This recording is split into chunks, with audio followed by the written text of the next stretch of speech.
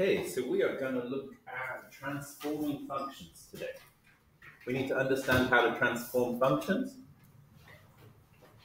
We need to describe the transformations of a function, and uh, we're also going to look at odd and even functions. Okay, so first up, describe how to trans uh, describe how to transform f of x equals x squared to obtain the graph related in the uh, the graph of g of x. So if we're told that g of x is equal to minus 3 times f of x minus 2 minus 2, this is a transformation of the original graph. Discuss with the person next to you what transformations you see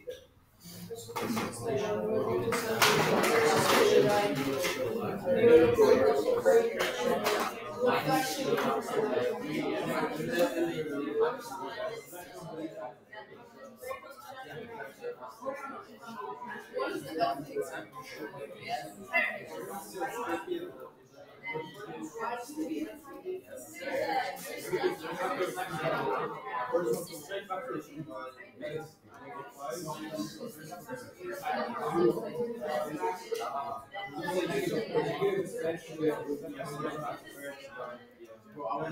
think that's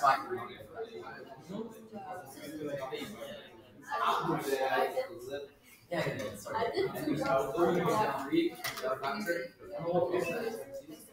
What's like Five pages? I got six, sir. I don't know. What is eight, but like, Which like, one? On No, sir.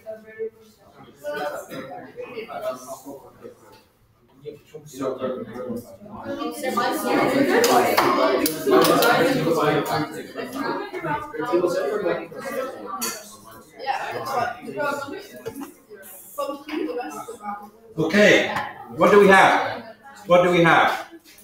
This minus 2, what does that give us? This minus 2, what does that give us? Timur. Uh, translation uh, to two units to the uh, to right. So, So horizontal translation two translation, 2 units, right. So next up, so when it comes to the order that you apply these, it's the same as the order of precedence of operations that you would actually evaluate the function in. So our next one is minus 3. What does this give us? Reflection the. We have a reflection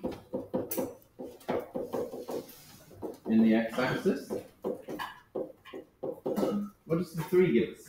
Uh, vertical stretch factor three. vertical stretch factor 3. Okay, and then lastly the minus 4. What does that one give us? So Translation for this. um, tran, uh, vertical translation, well, let me vertical, let's vertical translation for units, which direction? Down. Alright, so then we have to sketch it. So start off by sketching the vertex for a quadratic function. So that point there is going to go, where is it going? It's going 2 to the right and 4 down. So 2 to the right, 4 down, and we're going to get that vertex here. We have a stretch and reflection. Well, that makes it easy to sketch, doesn't it? so we're going to go like this, and then we're going to get a stretch. Hmm. We're going to get a stretch, and we're going to get a reflection. So we are going to be down here, aren't we? Like this. Can't really draw much of it. I'm trying to calculate the, the stretch much. What does the F stand for after minus three? The function. Function f. Oh, So it's a transform. It's a transformation of this, which is our original function. Okay, that's it. We, we could calculate a bit more accurate, but we can't. We don't have enough graph space. All right, discuss with the person next to you. What are our transformations here?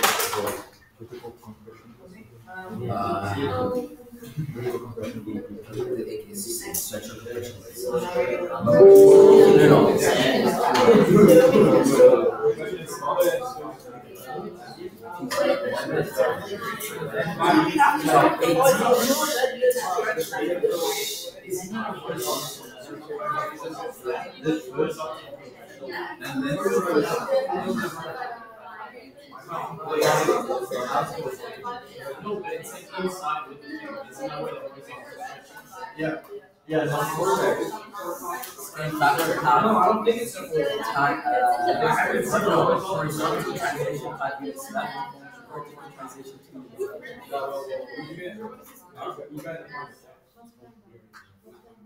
It was like it's. That's for joystick. Yeah, but it's.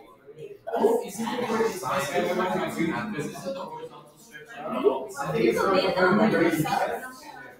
I don't think it's by scale factor one half, I think it's by scale factor. So, Yeah. Don't you switch it, but it's a No, horizontal. no, it's. This. it's- I always like this. Oh, it's stretch, it's like. Stretch. Horizontal stretch. That's the eight and. Yeah, two. Which one's which? Which It's one over three. Yeah, but it's scale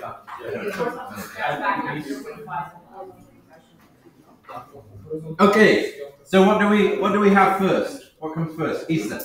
Uh, translation, uh, horizontal translation, So I'm going to use shift this time. Shift five units left. five units left. What about this one over two? What does that do? What's that one? Um, I, I think it's a horizontal compression factor too. Is it a horizontal compression? It is. It is horizontal. You're in the right direction, and it is factor two. It is going to be stretch. So what helps you to remember is the what goes on inside the bracket always seems to be backwards. Like for instance, when we have plus five, it goes to the left instead of to the right. And so everything inside the bracket can't help works backwards. So a half is a stretch by factor two.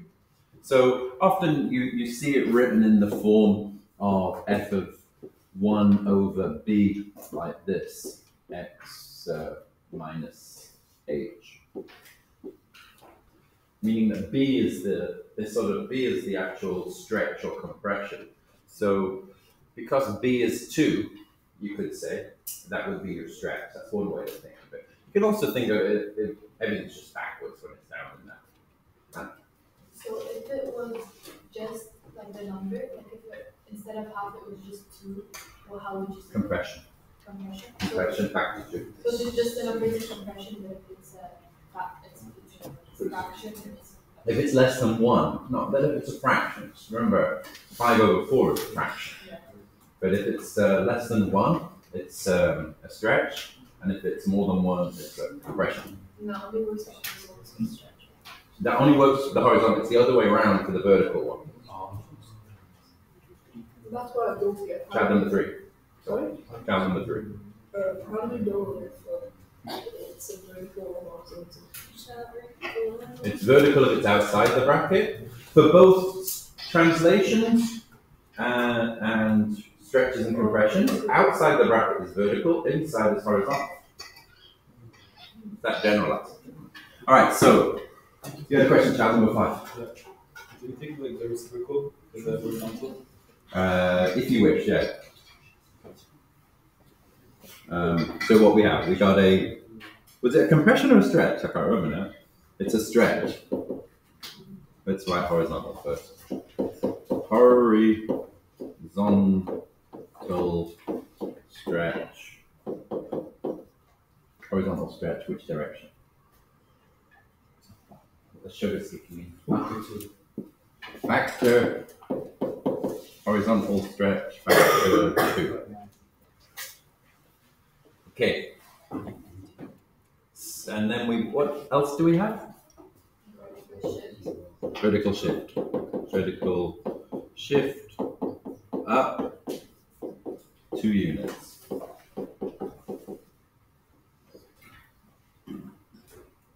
Okay, so where is our vertex going to be now? It's going to be at minus 5 comma 2. So we can't barely get that one at minus 5 comma 2 is our vertex. Um, hmm. So normally I wouldn't, when you're doing translations of absolute functions and reciprocal functions, rational functions, quadratic functions, there's no point having horizontal compression and stretch. It's a stupid thing to do. You because it's the same as vertical. Watch this. So we have a half x plus five squared plus two. This is our function, isn't it? We put in the f of x. This is equal to 1 over 4 x plus 5 squared plus 2. So, horizontal stretch and vertical compression are going to look the same. They're going to look the same. So, a vertical, so this is the, these are both the same functions. So we can do this by converting it to a vertical stretch factor 2. So this is going to be down here at a quarter. And that's the same as a horizontal stretch. So if we would go this point here, which is at 4, is going to come down to 1 here like this one. And if you notice now, we're stretching horizontally by 2. It's just going to look like this. So the, the parent function goes through 2 comma 4. That one would be compressed down to 2 comma 1. The parent function goes through 1 comma 1. That would be horizontally stretched by 2. You don't see the difference in the two. They look identical. Uh, so a lot of functions, a horizontal stretch and a vertical uh, compression, create the same result. Although, depending on the function, because this is a squared function, then the relationship between the two uh, factors of how much it is is squared. So this is a half, and this is a half squared, it's a quarter. So we're compressing by a factor of four. We're stretching by a factor of two. And that's because the relationship between these two is squared. That's not going to be the same for all functions, but it would be for, uh, depending on what the function is, obviously, when you work with a rational function uh, or reciprocal function particularly, it's just going to be the reciprocal of it. When you work with uh, absolute function, it's going to be the absolute of it. It depends what the function does as you move it out. So, so there's that. All right. Have a go at this one for yourself. Describe the function. Have a go at sketching it. Have a go at sketching it. Describe the transformations and sketch.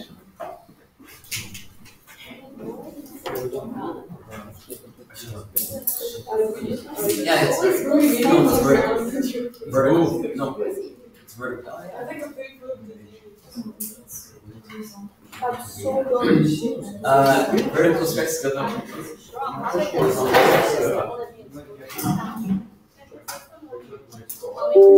Stretch. When, the alone, there's no change in the horizontal. Horizontal translation. Just chilling, zero. Zero, shouldn't you, when you write transformations out like verbally, shouldn't you always have the shift, I mean the stretch first before the translation? There's no horizontal. So wha- once until you get back to them. Once until you no horizontal. No, no. Wait, because if you, wouldn't it change it if you did the translation before the stretch? Wouldn't that like change it? What?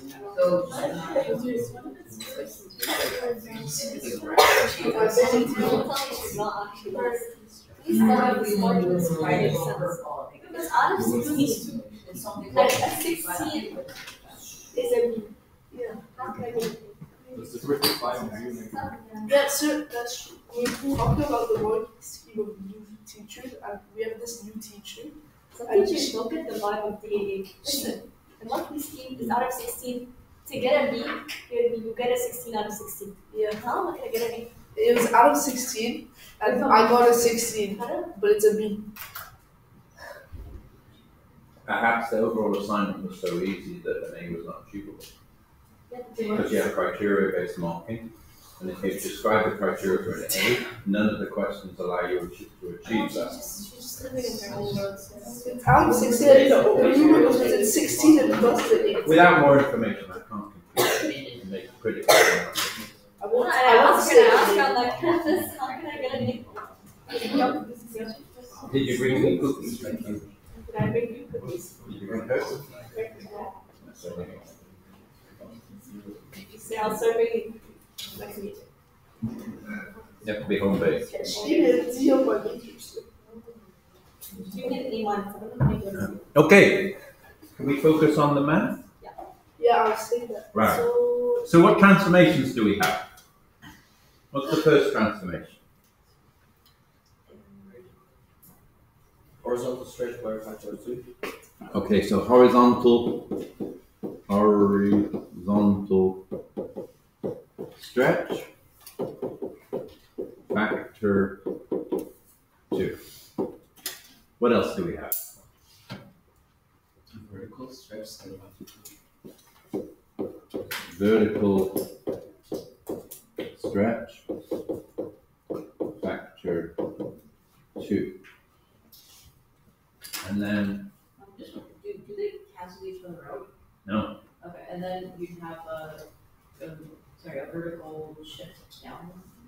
vertical shift down. It's a good idea, good question though. Vertical shift down. Now, on a quadratic function, absolute function, reciprocal function, they're going to cancel each other out. They are going to cancel each other out. Let's uh, let's take f of x is equal to one over x, and let's take g of x equals two f of uh, two x. So we have two. Um, we have what we have a horizontal compression factor two. We have a vertical stretch factor two. These will cancel each other out. This is going to give us two times one over two x, which is two over two x, which is one over x. These two are going to cancel each other out, but not these two. So it depends on the type of function. Some functions, uh, the horizontal compression, it tends to do with symmetry. It tends to do with the symmetrical nature of the function, uh, whether it's going to cancel each other out on. So on this one, we need to do the, we need to move some bits and pieces around. So what have we got? We've got a horizontal stretch factor two. That's easy. So these maximums are going to move up by two. They're going to double in height. They're going to double. They're at two at the moment. They're going to double by two. Sorry, vertical stretch factor two. We've got a horizontal stretch factor two. So this point here is going to move to there. At the moment, it's a pi. It's going to be at two pi. This one's at two pi. It's going to go to four pi. So I'm going to start off by doing the x-intercepts. These two x-intercepts, this one's going to go be doubled. This one's going to be doubled. So they're going to move like that.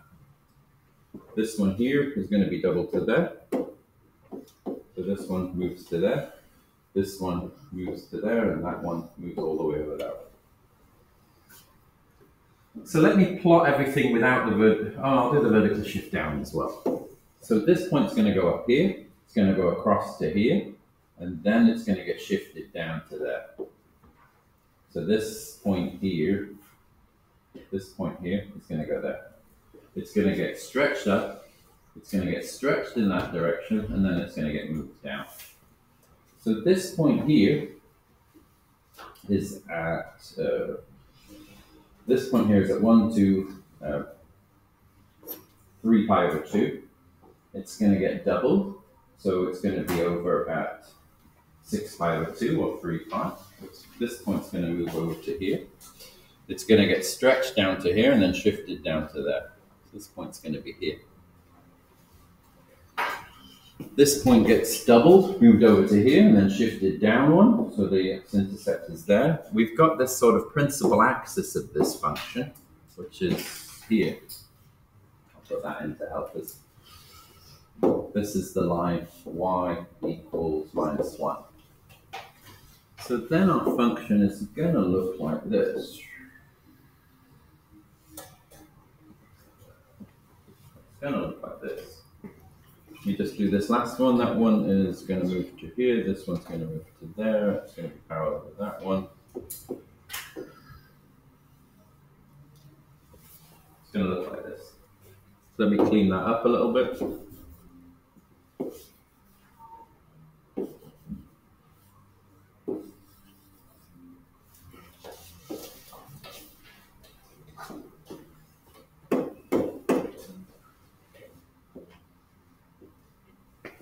Going to look like this. So this point here, the x value has been doubled.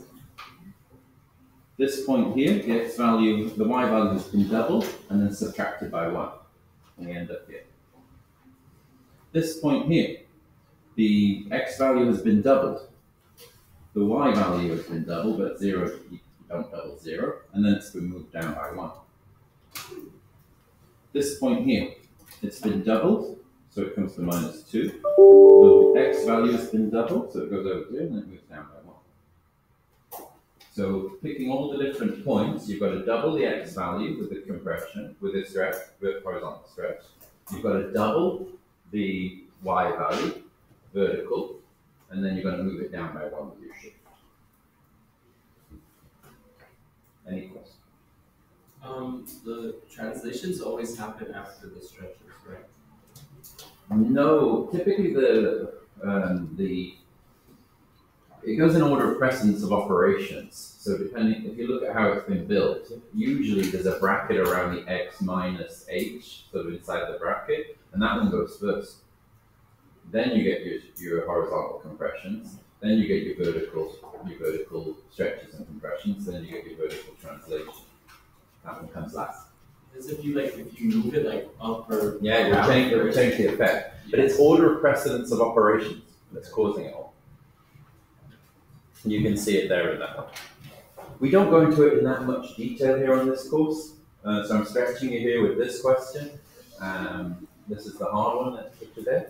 Um, you get it more in next year if you do the higher level course. I did. I did. Let's say you want to practice that for yourself. Let's say you want to practice that and train at this skill. This is important. We'll come back to this later when we do trigonometric functions. You can always practice this yourself quite easily.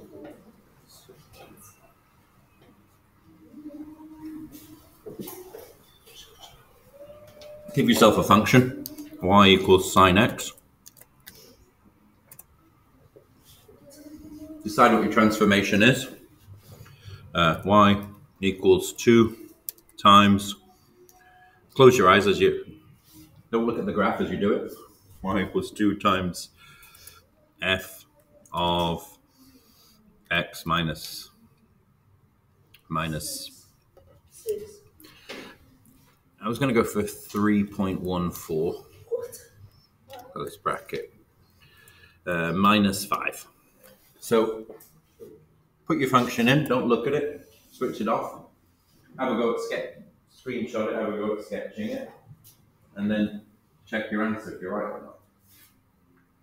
So you can do it like this. If you wanted to practice this, this is a harder one. We do more of this uh, when we do trigonometric functions. I picked this function here for today because the horizontal compression and stretch and the vertical stretch and compression are not related in this particular You do them separately. Whereas a lot of the other functions we've seen, they cancel each other out. Yeah, that's not bad one. Yeah, sure. This important part of the lecture. I'll go fast. So will I. Yeah. There is. Okay.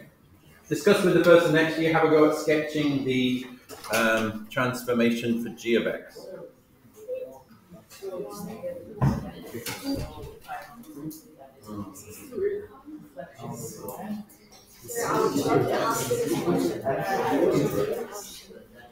Figure out.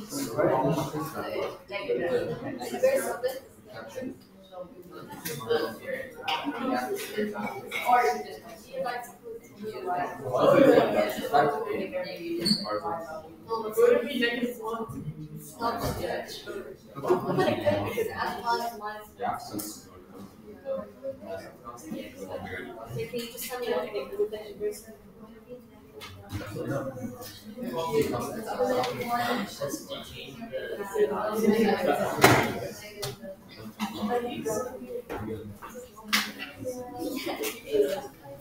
Okay, can you just tell me what to make the reflection versus? Versus observation. Maybe it's like a flip because it's minus. Yeah, so here there's. Okay. What do we think it does? First thing, we ask the question. If that minus sign was outside the um, outside of the f, if it was minus f of x, what would it do then? Isa. Vertical. No. Sorry, let me say Hannah. Hannah. Reflection on. We're doing a reflection on the x-axis. If it's inside, what do you think it does? Reflection on the y-axis. reflection on the y-axis. Now, however, when we reflect in the y-axis, what are we reflecting in the y-axis? We're reflecting everything in the first and fourth quadrant in the y-axis. This bit will disappear. Basically, it's easy. When you put 1 into the function, the answer is 0. When we put minus 1, so when we put 1 into this function.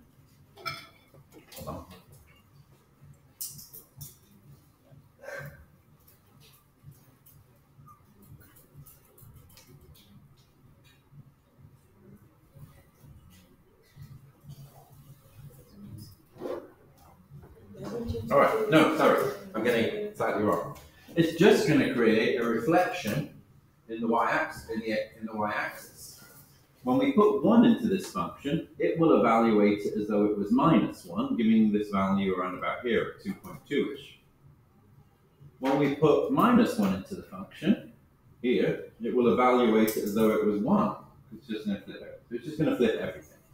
So we take this point, we put it over here. We take this point, um, and we put it here-ish.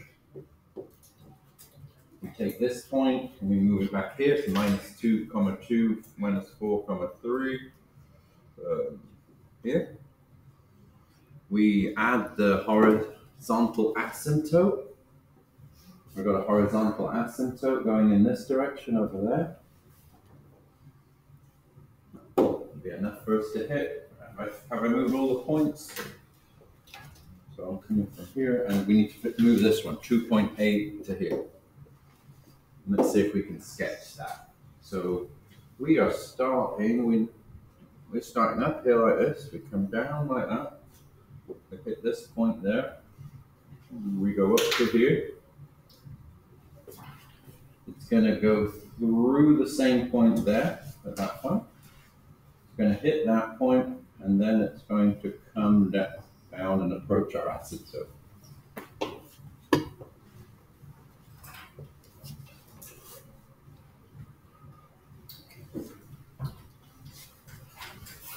Reflection in the y-axis.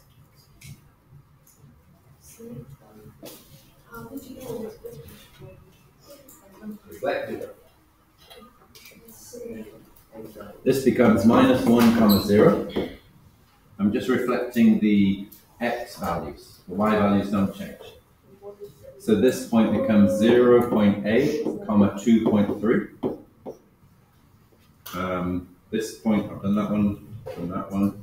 This point over here becomes minus two point two comma minus four point three.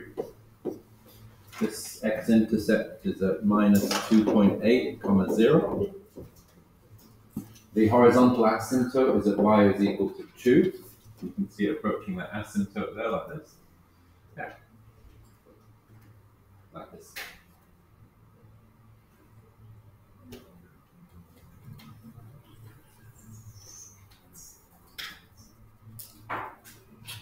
What functions look like this? This is a um, this is basically a exponential function. So from this point to infinity, from minus 3 to negative infinity, from this point here around about 2.5 up to infinity, it's going to look like a, an exponential function. The end behavior is completely derived by the exponential function. It's much more powerful than the. Uh, I've added a cubic function to this one here in the middle. So this bit in the middle is a cubic function with a sort of wiggle like that, a sort of S type wiggle. Safe, don't fall asleep.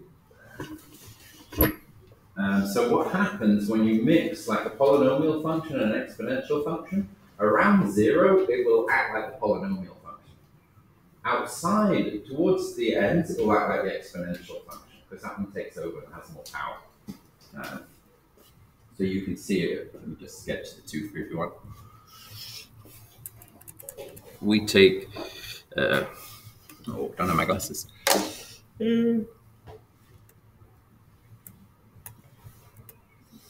We want e to the x.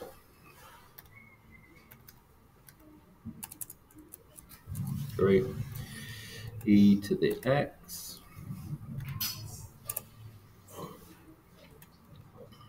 We want this one to be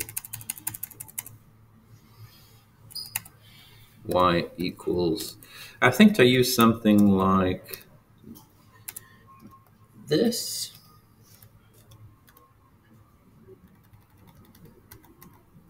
And I think I added up something like that in it.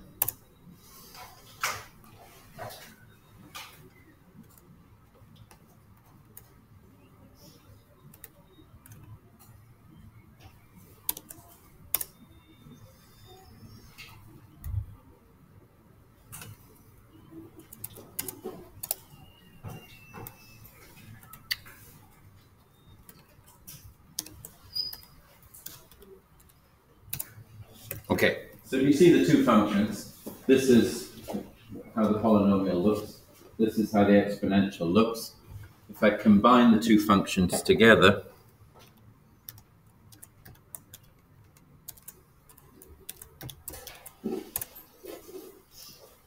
if we zoom out,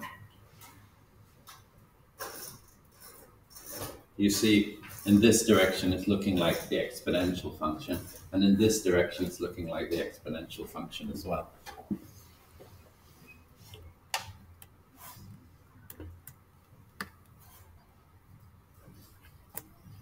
So zooming out basically looks like an exponential function.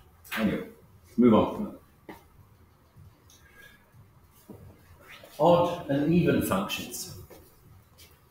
So an odd function, when a parameter in a stretch or compression is negative, another transformation called a reflection is introduced. Examining reflection will also tell us whether a function is even or odd function. An even function is one where f of minus x is equal to f of x.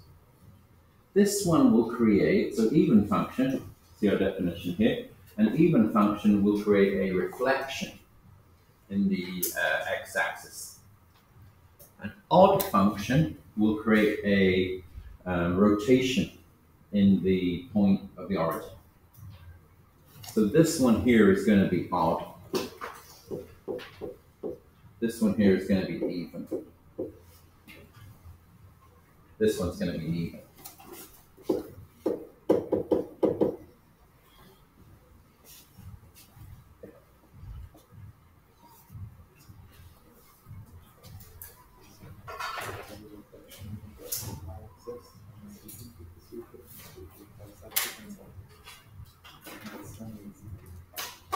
Sam, let's wake up.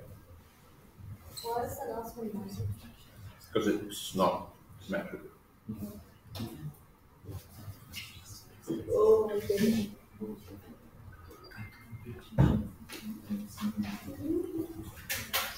Okay. Show that this is an odd function. So, what do we need to show? What do we need to show? Use these two definitions up here. Show that f of minus x is by of x. Show that f of minus x is equal to f of x. To show that it's odd or even algebraically. No, minus negative f of x. Minus. Oh, yeah, sorry.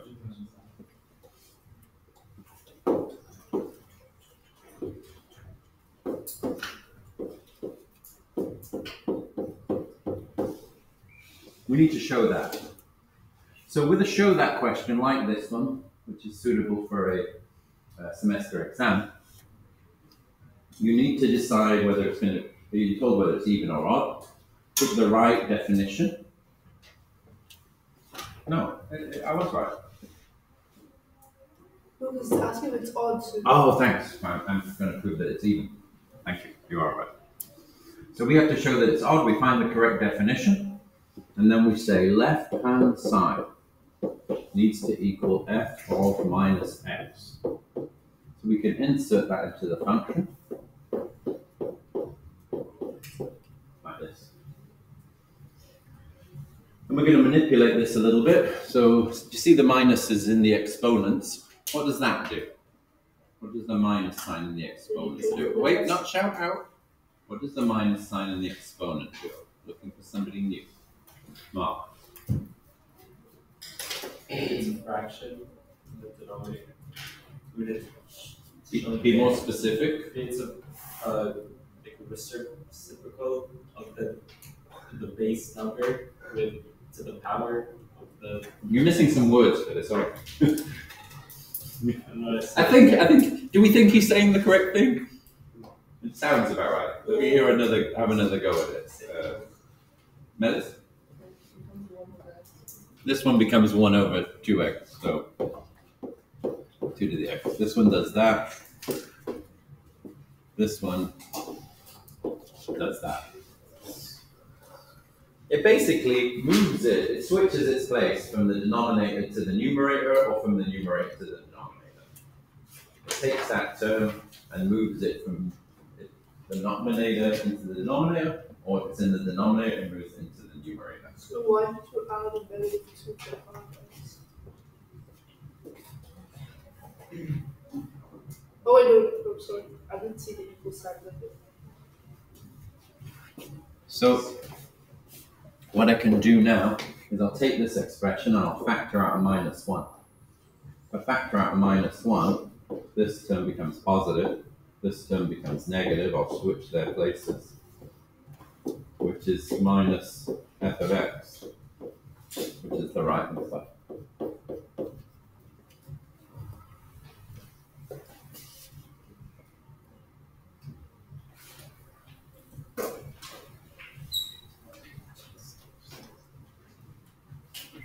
Read the algebra through, make sure you understand it, discuss it briefly with the person next to you.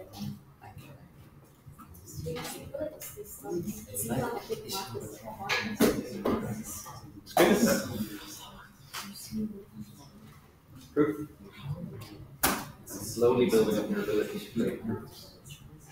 By going back to the same type of technology.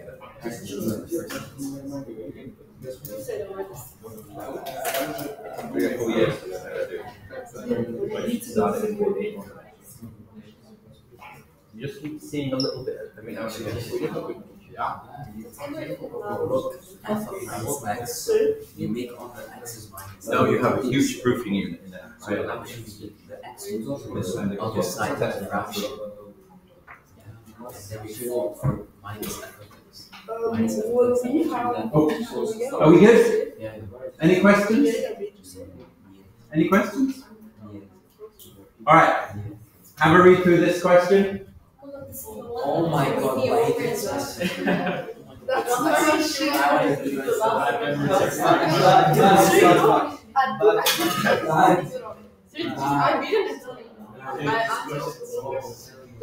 All right, watch me, watch me. Are you familiar with the question? Yeah. All right, so six percent. Six percent solution we have at the moment. This is six over a hundred. Yeah. Yeah. Yeah? Zero point zero six. This is salt over total. Yeah. So how much salt is in it over the total weight of the solution? Yeah? So what are we doing? Um, so we have five hundred grams of, of total solution. So five hundred grams is our total solution. We need to adjust the numerator to match. What would that do? Six. No. The twenty percent. Oh, Six times one, thirty. Thirty. Are we getting there? 30. So this is 30. So our function needs to increase the amount of salt by x. But when we increase the amount of salt, we increase the total as well.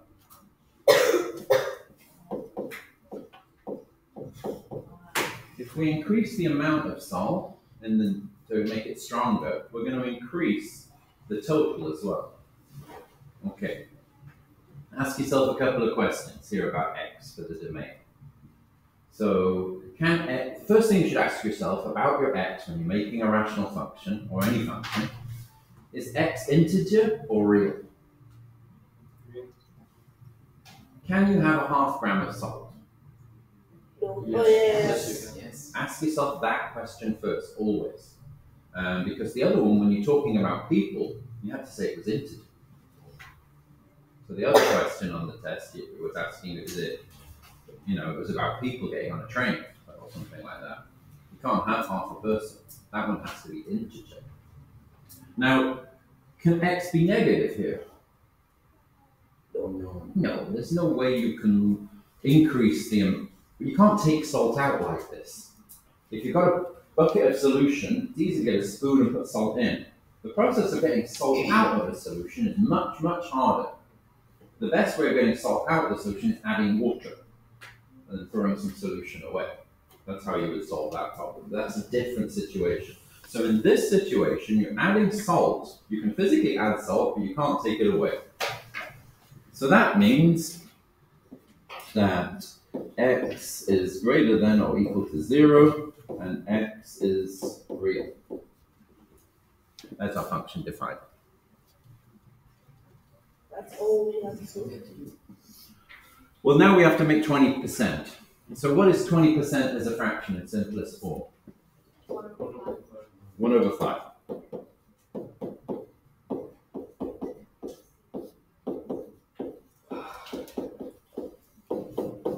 Let's rearrange this into 500 plus x is equal to 150 plus 5x. What did I do there? Can you see? Why is one Cross five equal to 1 over 5 is equal to 20%, and that's our goal. We're after a 20% solution. So we set the function equal to 20%. If we solve that, then it'll tell us the amount of salt. All right, so here, this one's looking good. Let's go across a little bit more, and we should get 4x is equal to how much? 350? A lot of people had trouble with this. So if we've got x is equal to 350 over 4, you're like, oh, fractions, I can't solve fractions. Okay. All right, I think for me, I would solve this by halving that. I get 175 over 2. Now I'm like, oh, I can't halve that one in my head so easily. So then just do your division algorithm. How many times does 2 go into 1? It doesn't. How many times does it go into 7? How many times does it go into 17? Oh, it's seventeen. 8. What's the remainder? One. How many times does it go into 15? Four. Uh, How many 2s go into 50? 7. What's the remainder? Fifteen or fifteen or fifty? 15. Oh, seven. How many times does it go into 10?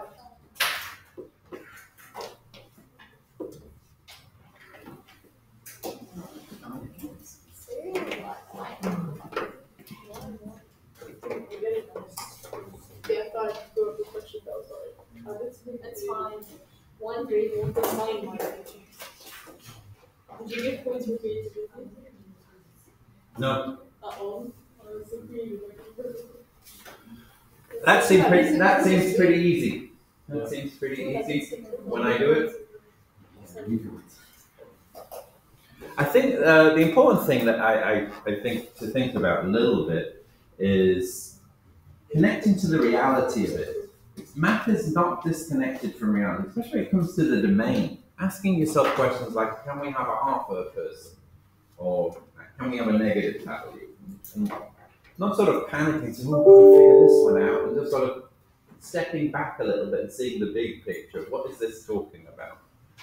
The trickier issue was basically setting up that the solution is defined as solve over total. Figuring that out, and then you should get all of it through. And, well, you have to figure out this, the solu- 6% and the solution is solve divided by total. Pretty obvious, it's just a fraction describing a percentage. And then when you add solve, excuse me, you also are adding it to the total. Some people miss that, they just add it into the numerator. It doesn't work like that. You're adding grams to the total, you're adding grams of salt. All right, I think we're IXL time. So we get into start with Um, let have a look. This is block A. Sydney, yes, I've heard these ones. Hannah. Alice. The right one.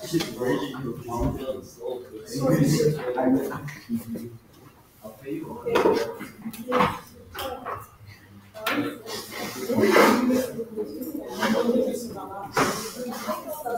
Okay, stop talking, open up your computers, go to IXL Q1.